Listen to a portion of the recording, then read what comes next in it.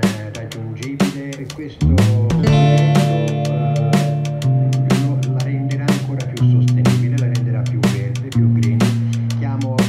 Anche quest'anno al Salone del Camper si è tenuta la premiazione del bando I Comuni del Turismo in Libertà, organizzato come sempre da PC, Associazione Produttori Caravan e Camper in collaborazione con ANCI, Associazione Nazionale dei Comuni Italiani, Federterme, Federparchi e FE. La bellezza di questa operazione è che oltre a dare premi stiamo facendo il Giro d'Italia, il Giro d'Italia di tutti i borghi e le città più belle dove i turisti in libertà possono essere accolti. Al bando giunto alla sua sedicesima edizione hanno aderito 141 amministrazioni, ma solo 5 hanno vinto, tra cui il comune di Serravalle di Chienti in provincia di Macerata, che si è aggiudicato la categoria straordinaria inserita quest'anno, completamente dedicata alle zone colpite dal terremoto del centro Italia nell'agosto 2016, a cui andranno eccezionalmente 30.000 euro per la realizzazione di un'area di sosta multifunzionale che potrà favorire la ripresa economica del territorio attraverso l'accoglienza dei turisti in libertà. Per quanto riguarda la categoria speciale alla quale APC ha voluto dedicare un premio in questa sedicesima edizione del bando dei comuni in libertà, il premio è stato assegnato al comune di Serravalle del Chienti in provincia di Macerata, proprio per sottolineare la vicinanza di APC a questi comuni terremotati e fortemente colpiti dal sisma di agosto 2016. Per gli altri quattro comuni il contributo APC sarà come al solito di 20.000 euro per un totale di 110.000 euro messi a disposizione per la realizzazione di un'area di sosta attrezzata per veicoli ricreazionali. Per il Nord Italia è stata premiata Rocca dei Baldi in provincia di Cuneo, dove la futura area di sosta sarà il punto di riferimento dei camperisti per visitare non solo l'antico castello del XII secolo, ma anche i suoi bellissimi parchi. Città della Pieve in provincia di Perugia vince per il centro Italia, oltre che per il progetto, anche per i suoi indimenticabili scorci medievali, la posizione invidiabile da cui domina la valle di Chiana. Per il sud Isole Belpasso in provincia di Catania, qui l'Etna è la grande attrazione del luogo,